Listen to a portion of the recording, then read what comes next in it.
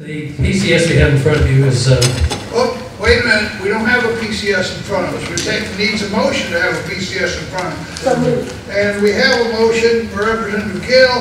All those in favor say aye. Aye. The ayes have it. Uh, we have a PCS in front of us for House Bill 117. Representative uh, Warren, you recognize to present. all right, for those of you who were here last session, this might look a little familiar to you. This is a variation of the bill that was um, filed last year by Senator Barefoot requiring criminal background checks for all uh, teachers for, for um, um, other personnel. We um, changed the bill a little bit uh, where it's um, a little more streamlined. The provision of the first part of the bill was uh, pertaining to background checks as part of the licensure process, and we removed that from the bill. But the, the bill itself, Senator Barefoot's bill, was in response to North Carolina getting graded as an F by a USA Today report on school background checks, and primarily due to a lack of consistency in the report of the background check process. This bill will institute statewide uniformity in the standards by using one source for the criminal background checks. Essentially, it does does four things. Uh, Part one and part two would mandate that local boards of education, charter schools and regional schools require applicants for school personnel positions prior to unconditional employment to be checked for criminal history by using the Department of Public Safety to check the state and national repositories criminal history boards. Now, the LEAs would also be permitted to conduct periodic criminal history checks of employees using either the DPS or the Consumer Reporting Agency, which is uh, defined in your bill for your PCS, to search local, state, and federal criminal repositories again. The boards would be required, LEAs would be required to indicate upon request by another public school or charter uh, if an employee's resignation or dismissal was related to criminal history. Part three of the bill would authorize a superintendent to provide written notice of charges against a teacher who um, um, has been suspended or incarcerated and in custody without pay, rather than having to meet with the teacher in person. And part four, excuse me, part uh, four of the bill would require local boards of education to report to the State Board of Education when a teacher's resignation was related to criminal uh, history, regardless of whether dismissal proceedings had uh, begun or the teacher had resigned without permission. The same requirement also applied to charter and regional schools. Uh, Essentially, that's it in a nutshell, and appreciate your support. Thank you, Representative uh, Warren. We have an amendment uh, that's not quite ready, about to print. So before we go into to debate on the bill, uh, let's wait for the amendment. Let me ask you a question, uh, Representative Bradford. Does the amendment change the substance of the bill, in your opinion? Uh, Thank you, Mr. Chairman. Um, All it would, do- this amendment, what it will do is it will allow the local folks to be able to use a commercial screening background check, just like they do today. All right. That, that, I just wanted to, while they're preparing the amendment, we can go ahead and take questions then, rather than, because it doesn't substantially change the bill. So we can proceed with debate and get this project moving along. Representative Richardson, you want to be recognized. Thank you. I have a question, Mr. Chairman, for the bill sponsor. Um, Hold on just a second. um, fair and fair and so. I was wondering, uh, and maybe this is part of implementation, but the list of, of items that you have down that could be found in the criminal background check, does one or any of those automatically forbid a person for getting a license or having their license revoked, or will this be done through due process and then a decision will be made after that? That's a no and yes to both your questions, and thank you for the question. No, they don't, th- those charges don't automatically preclude someone from getting their license, that would be up for the board. Because you, when you look down the list of those uh, offenses, there's some pretty grievous offenses that start out, but as you get down to the lower part of it, you're talking about uh, drivers, uh, uh, driving offenses and things of that nature. So that would still be, uh, you know, the purview purview of the uh, state board. Any additional questions, Representative Jones? Uh, Mr. Chair, are we on the amendment? Would it be appropriate for me to pose a question to the amendment sponsor at this time? Well, we're not on the amendment yet. Any further questions on the bill? Representative Meyer? Thank you, uh, Mr. Chairman. Can I ask a question of staff? I'm curious about, uh, in section two of the bill where um, we're adding language that lists a whole set of criminal statutes to be considered. Does adding this language to our statutes create any binding action on school boards? That if if they find something that is one of these, does that mean that they have to deny that person's license? Or is this simply guiding statutory language? Can you tell us kind of what you feel about the, whether this is mandatory or not? Karen McCraw? Um, Representative Meyer, uh, the, the language that's been added, if you look, uh, it's, if, if you could turn over actually to page four of the bill, you'll see the language, and this is language that's in current law for local boards, it's being added for charter schools for consistency, and it's true for regionals as well. Starting on line 17, the requirement for each board is for it to review the criminal history it receives and then determine based on that review whether the individual poses a threat to physical safety of students or personnel. If the person has demonstrated that he or she does not have the integrity or honesty to fulfill his or her duties, and then shall use that information when making employment decisions and decisions with regard to independent contractors. So there is no requirement that just because someone happens to have one of those past felonies in their past that they cannot be hired, but it has to be uh, a decision made by the board as to how to use the information. Thank you. Does that answer your question? Yes, sir. All right, Why don't we move to get the, is the amendment ready? Has it been passed out? I don't hear yes or no. Okay, so we're not yet ready with the amendment. We'll continue with questions. Representative White? Uh, Is this bill going to be a mandate uh, that's funded to the local school system? Many school systems do not have a lot of of transiency, but many school systems in our state now have a lot of transiency of employees, teachers and other staff. Um, yeah, There are two levels of, of the criminal background checks, federal and state. Um, So if we are talking about having to have both of those done, that could be an exorbitant um, unfunded mandate unless this bill is very funded. Uh, Go ahead. Thank you. When the bill was uh, originally filed, we had a fiscal note too, and that included background checks as part of the licensure process. And at that time, um, because we had some, like, I think it was like 43,000 or so um, of the previous year that, that, that the note was based on, there was a determination that DPI would need a one-time allotment of about $250,000 to reprogram and set up, plus two positions. That provision of the bill is completely gone though. So the responsibility falling back on the local LEA disperses any cost over, you know, throughout the state there on the individual uh, LEAs, but the estimated cost on a background check right now is about thirty-five dollars. Representative Richardson? Representative White asked my question, thank you. Uh, Chairman Johnson?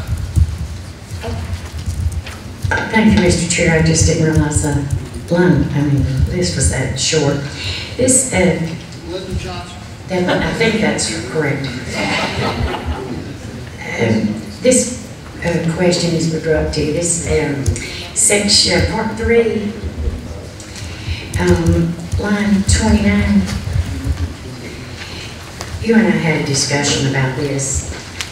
That, that is, um, that a superintendent um, could, could not uh, suspend a teacher, and they had to continue paying them because they were incarcerated, and they had to meet in person to be able to su- suspend them. So therefore, we had to pay till their court case came up in some instances. Does this correct that problem? Karen? Sorry. Karen McCraw? Uh, uh, Yes, Representative Johnson, this provides, instead of having to meet in person if a teacher were being incarcerated or held in custody awaiting trial, that the uh, principal can provide a written notice and a pro- a it provides an opportunity for the teacher to respond in writing, but they can then suspend them and pay without meeting that requirement of an in-person meeting. Thank you. Uh, hold on a second, where are we with the amendment? It's still coming. Uh, Representative Graham, and then back to Representative White.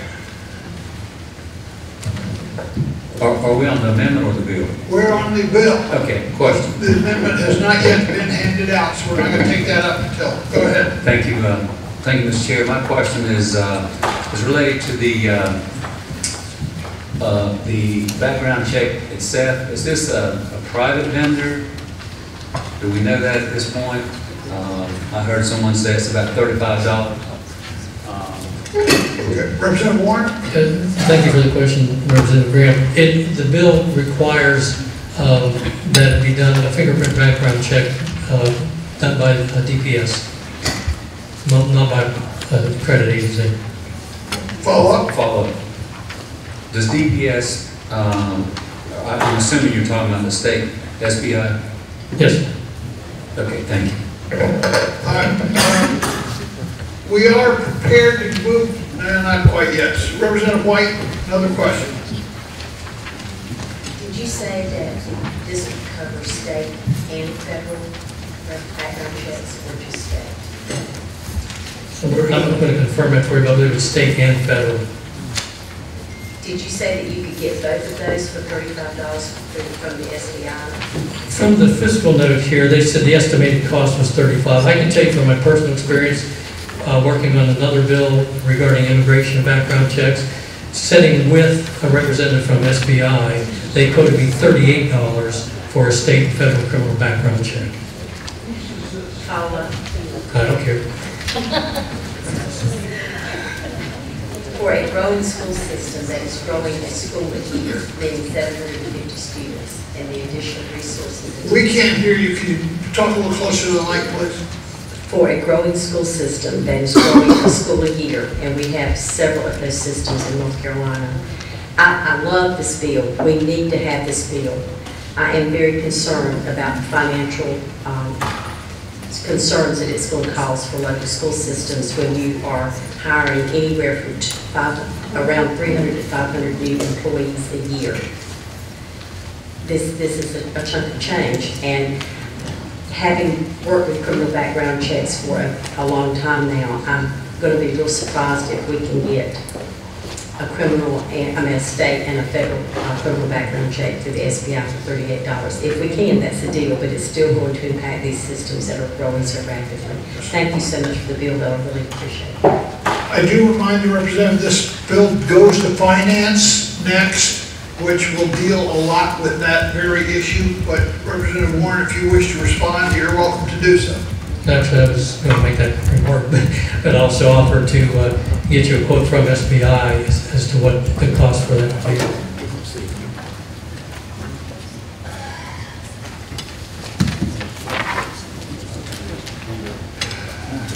Before we move on, let's get this uh, amendment on, so we're dealing with the bill as amendment, as amended. Representative Bradford, you recognize set forth the amendment. Thank you, Mr. Chairman. Um, I apologize to the committee for taking a few minutes to get it ready. The bill prior to PCS was okay. When the PCS came out, um, I needed to make, uh, make this change or suggest the change. So um, a lot of great questions from both Representative Graham and Representative White, and I think this amendment will perhaps answer some questions and solve some problems. First of all, um, under current law, it, you know, the locals have to adopt a policy, and this bill, which is a very good bill, I'm going to certainly support it, um, requires that there be a background check. What my amendment does is it also allows locals to actually make a choice, to either use the Department of Public Safety background check, which is really just a fingerprint background check. The other option, which they use today, would be a commercial screening background check. I want to talk a little bit about that. Um, I have a lot of experience in background checks because I screen hundreds of people every single month for my business. And with a, with a fingerprint background check, one would think, well, that's got to be great, it's the FBI, et cetera. The, the challenge with fingerprints is all it really does is help confirm identity of somebody and things that may be tagged to it, such as an arrest. But that alone isn't really the issue. Most, most people who apply are really who they say they are. What you want to know is what have they done in the past. And so commercial screening provides a more complete look into someone's background, not only from the arrest record, but also follows all the way through, including disposition, whether what kind of, uh, was it a felony, was it a misdemeanor, was it expunged, et cetera. It's cheaper for the local areas, which is what they're used to paying today, so Representative White, it would not have a net impact, I don't believe, to the local levels. The FBI background check, I do believe it is more than thirty-eight dollars, I think it's somewhere closer to sixty, but I, finance, we can figure that out. This would be a much cheaper option, it would be a much thorough option, um, and it's also quicker. Imagine a school bus driver applying for a job and they have to wait four to six weeks to get a result back. These folks need jobs, they're gonna go find a new job very quickly. A commercial background check is two to three days. So it's cheaper, it's quicker, it's more thorough. And what this amendment would do would just give locals the option. They most certainly can still use the uh, Department of Public um, Safety one if they want, but I would probably wager that most of them will continue to use the more thorough commercial background check. So that's what this amendment does. It still makes it a requirement. Um, I hope you'll support it. Happy to answer any questions. All right, uh, so we have an amendment before us. Um, Representative Warren, you want to comment on the amendment? Yes, sir, thank you, and thank you for the amendment. Um, Before I talk about the amendment, I want to point out one thing. The bill does allow the LEAs to make an offer uh, conditional to the, uh, to the background check coming in. So th- that part will proceed. Uh, As far as the amendment goes, the, the- I think uh, Representative Brad- Bradford makes some very excellent points, and I agree with him. Well, the problem I have with the amendment is giving the LEA the latitude to choose the fingerprint background check or the commercial entity um, takes away from the, the heart of the bill, which is to develop and demonstrate the consistency from Graham and Cherokee to Manteo and to Dare uh, counties, that we have consistency in the background check, which was what the basis for the F grade that the uh, state got in the USA Today report, which was the impetus for the whole bill last year. So personally, I, I wouldn't have a, a preference whether, oh, I guess I would have a preference, but it would be that it'd be one or the other. And I would actually like to ask staff if anybody on staff would want to weigh in on that, because if I'm wrong, I'd be glad to support the amendment, but I, I just have difficulty with the, um, you know, the difference between the two qualities. Chairman Carl? Um, Representative Warren is correct that, that the, the effect of the amendment would be to allow, would, there would be consistency in the sense that every LEA would have to have a policy to conduct a type of criminal background check. However, there would not be a requirement that they all conduct the same type of criminal background check. So they could be using either the fingerprint criminal background check or the consumer reporting agency. Um, From past surveys with LEAs, uh, our understanding is that all 115 school systems have a policy requiring criminal background checks, but some of them choose to use the fingerprint option and others use the consumer reporting agency option at this time. We have a list of folks, I'll tell you who's on the list. Uh, Representative Graham, Riddell, Jones, and Blackwell. But before I call on you, I'm going to uh, advise you of a technical correction to the title of the bill, in case you want to make note. So on page one, line two, the word fingerprint will come out. And it'll read, in that, the sentence will read, an act to require criminal background checks. Dot, dot, dot, dot. So just, That's what the amendment. that's if the- that's if the amendment is adopted, by the way. I hope I was clear. Okay.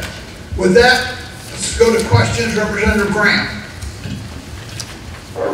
Thank you, uh, Mr. Chair. Uh, And I I do support the bill. I I think we're we're looking at the amendment specifically. And and where we are thank you- Thank you for your concern, um, Representative, and um, my my heart tells me this would not be a good good amendment for financial reasons. We're talking about a commercial vendor who would do criminal background checks. Obviously, they can get that check done much quicker.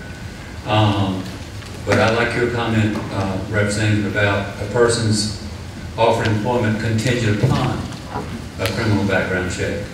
Um, And I would be real careful that we um, put policy in place that's going to be a financial burden on the individual and/or the school system. Commercial criminal background checks can be very expensive. Um, And I- and that's my concern with that. We, we have a system in place in our state with our SBI who can do criminal background checks. Mr. Chairman. And I, and I I just wanted to make, make that All right, since this, this question has to do with the amendment, the amendment sponsor will respond. Uh, Thank you. Uh, Representative Graham, um, believe it or not, the commercial checks are faster and they're cheaper. So the financial burden actually goes the opposite way. But what we're really focused on here, I think we all would agree, the whole intent of doing a background check is to really make sure that we have a a worthwhile person who's going to be working in our public school system. And if that's what we're trying to achieve, a commercial background check is more thorough than a fingerprint background check. This gives the LEAs an option. It doesn't say they have to use a commercial. I would probably wager that most of them, if not all of them, will continue to use the commercial because they're cheaper, they're faster, and they're more thorough. And from a requirement perspective, for uniformity, adopt, requiring a local area to adopt a policy versus this bill, even as amended if this passes, would require it, I think would have changed that grade. In other words, I think that would address the concern. I would most certainly be open to the idea that all the LEAs only use commercial and not use the FBI. But I'm trying to leave that there as an option. Okay. But if we're worried about that, I'm happy to accept a friendly amendment to my amendment to change that. Thank you. Follow up, Representative Graham? I'd like to comment on that. um, Okay. From experience.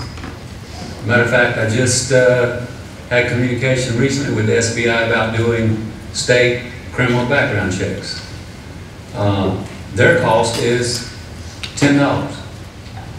A commercial background check is thirty-five dollars. So I'm really concerned about not using the system that we have in place that will do a thorough job, that will do an accurate job, and uh, I, I think the cost is very reasonable. Uh, Comment from the bill sponsor, but we've got to be moving along here, so Thank you, Mr. Chair. And in the interest of time and the fact that I'm amenable to the change, but it's unclear that we have before us the exact cost for either type of, uh, of um, background check.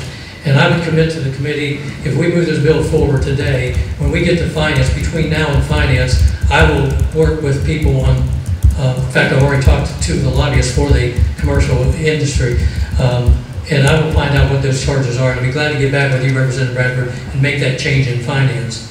All right, Representative Riddell? Thank you, Mr. Chair. Thank you, the sponsors, for bringing the bill forward. Uh, Just wanted to agree and move forward that I think a good idea Representative Bradford has. Either or is a good move here. Thank you. No, he is not. Representative Jones? Thank you, Mr. Chair, and I agree uh, with the amendment sponsor. I just have a- a technical question, basically either for the amendment sponsor or for the, um, or for the staff. The uh, changes that are made, uh, make two changes on page two, make it uh, the appropriate change on page four. But then on page five, line 43, um, it would seem that there is a similar language there. And my question is, should the same change be made there in this amendment?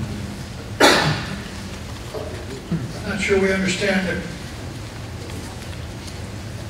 Can you clarify, or Ms. It McCraw? doesn't require both, is what he's saying, isn't it? Representative so- so I think, I- if I could just walk through real quickly, so on page, on the first page of the amendment, on pages 2, 11, 12, and page 2, line 16, the way that paragraph is structured, the sentences read a little bit differently than they do in the other two sections. So it's, it, the language is the same in all three of these sections, but it's structured a little differently, so it goes in at different places. Um, for the LEA portion, and then on page four, that's the charter portion, and page five is the regional school portion. So they will all have the same language in them, it's just the, uh, the local board of education statute is the oldest one, and it's not, it's written a little, it's been around a long time, and sometimes when statutes have been, they read a little more clunkily, and so because of that, it's spread out a little more, the language that has to be amended. Follow Mr. Chair. Okay, my specific question is on page five, line 43. Um, 42 and 43 currently read, "The Board of Direction, the Board of Directors shall uniformly require applicants to be checked for a criminal history by the Department of Public Safety." So my question is, um, together with what we're doing on the other changes, should that not say uh, either by a consumer reporting agency, the Department of Public Safety, or both. Representative Jones, do you have the second page of the amendment? Did they give you the second page? No, I do not. Okay, that change is actually on page two of two. That exact thing you're talking about is on page two of the amendment. I'm sorry, Thank they you. brought them into issue. That's So okay. I should have asked that Thank you. question. All right, um, Representative Blackwell. On the amendment. Thank you, Mr. Chairman. I'll try to be fast. Um, uh, I have had the opportunity for the last uh, two interims to chair the House Select Committee on Education Strategy and Practices. This topic is one that we discussed and had uh, some rather extensive presentation on. Uh, On the issue of consistency, the need for consistency is not to dictate that background checks have to be done by a single agency that does it precisely the same way every time. Where the consistency is needed is in the LEA's going deeply enough into criminal background checks to get the report at all. The amendment is an excellent amendment because, one, it gives the LEA the option, if they think speed is fast and is better for them, they can choose the one they think's the fastest. Uh, If they are willing to pay more or less, they want to save money, that's their option. What we need to be consistent in requiring is that at a minimum, they've got to make the check. And that's what this bill accomplishes. Uh, Final thing I'll say is, uh, uh, it- on a fairly narrow point, the issue that was uh, discussed about the speed as it relates to offering employment to somebody who's looking for a job. While it may be the case that the LEA could use the slower process with DPS and make a contingent offer, if you've got an applicant who's interested in being employed, he may not want to wait around on the contingency to go away.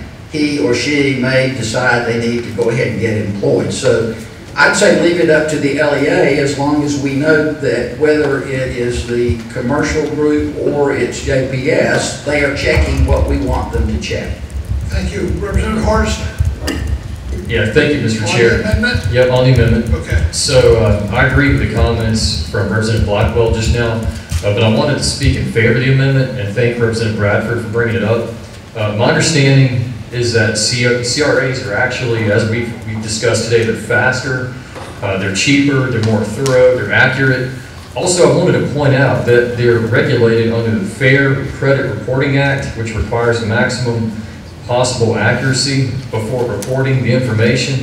I think they could be turned around in 48 to 72 hours, and I think it makes sense to provide uh, LEAs with the option whether or not they'd like to uh, use the CRA. So I think this is a great amendment. I urge the committee to support it. Thank you. Representative Richardson. On the amendment.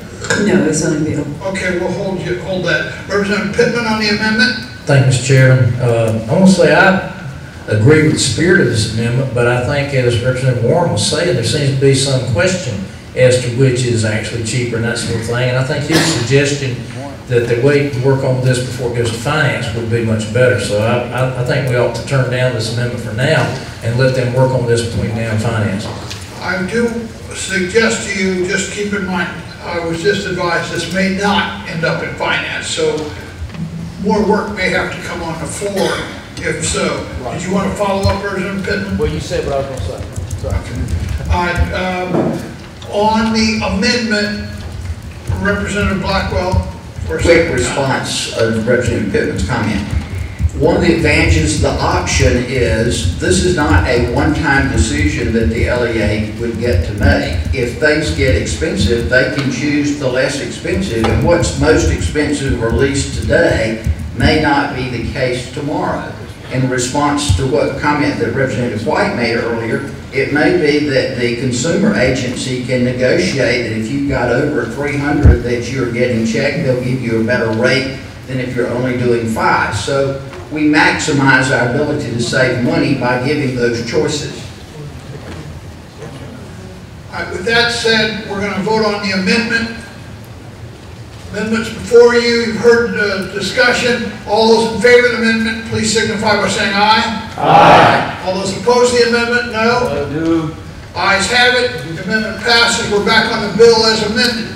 Representative Richardson, and then Chairman Thank you, Mr. Chairman. I just have a question, uh, and it may not be relevant, but we struck um, fingerprinting out of the title. Does that mean we need to strike fingerprinting out of the body of the bill where it's seen? Staff. Um, No, Representative Richardson, we just needed to take it out of the title because it will no longer be a requirement that all people have to have fingerprint criminal background checks. That will still be one of the options that can be exercised, however. Okay, uh, Chairman Elmore, on the bill as amended. Uh, Thank you, Mr. Chairman. Um, I just wanted to say, I wanted to compliment Representative Warren on his work on this bill. Um, Before the PCS, what you saw was a bill that just created another, basically, layer of bureaucracy. And the whole issue with this is that the layers of bureaucracy are not communicating with one another. Uh, And with the cost element, the, the original form of this actually put it on the back of the teacher, to where the teacher was paying for all of this. Uh, And I've never heard of an employer that charges their uh, respective employees for the drug testing, or whatever. And uh, Representative Warren has worked real hard, and the key to this whole um, bill that you have in front of you is communication. Now we have the different entities communicating with one another, so they are aware of the criminal history of these employees. So this is going to prevent the issue of the employee doing something awful, criminal, and then going to another system. Also, it creates a line of communication to the State Board of Ed that deals with the licensure. And right now, without that communication, if you have any inquiry of an employee, they basically ask, uh, the LEA will give the employment dates, and that's pretty much the extent. This bill empowers them to be able to say, yes, Mr. Such and Such was let go because he committed a criminal act. And I feel sure, I trust the LEAs enough, that if Mr. Such and Such created a uh, criminal act, that he would not be given a job in the other system. I would hope. And if you have that going on after this bill, the accountability is truly put at the local level where it is easier for them to be accountable because they're in the grocery store, those local board members, and if they've been hiring people with criminal histories that are awful, uh, you can talk with them one-on-one about it. Uh, And also with the state board, this will help empower them on the licensure component to truly know that if an employee has done something that bad, that they should be able to have the information that they need to make the decision on revoking the license. So this is a bill about communication. Uh, I, I just have about one more comment, if that's all right, Mr. Chair. Not on time. Sure, I understand. Thank you. You do know the drill, you did it last week. I, I know exactly the drill, sir. Uh, But anyway, um, I compliment the bill. I hope that you will support the bill, and I think this is a simple solution to solve a big problem um, today. So I urge you to support it. Representative Jones for a motion. Thank you, Mr. Chair. I move for favorable report to the House Committee substitute for House Bill 117 as amended and rolled into a new committee substitute um, with a referral to um, Finance and unfavorable to the original bill. I appreciate that, I did call on you for that, but we do have one more. Representative Kill, uh, Squire Butterfield, I don't want to leave you out. Thank you so much. We're Um, up against the clock. I think it's a good bill, but I want to find out who's paying for the background checks. Is it the employee or the LEA or who? Okay, LEA. And that's why it's not going to finance file? Okay. One, one last question. Uh, Is there any opposition to this bill? As is before amended? I have not heard from the NCAE yet. Pushing this too hard, Representative White, last word, and we're going to a vote. I'm just wanted to thank Representative Warren and his um, primary sponsors for this. The local LEAs, I believe, in North Carolina will take a deep breath when this passes, of relief. Thank you so much. Representative Jones has made his motion, it's on the floor. All those in favor signify by saying aye. Aye. Those opposed, no. The ayes have it. Meeting is adjourned.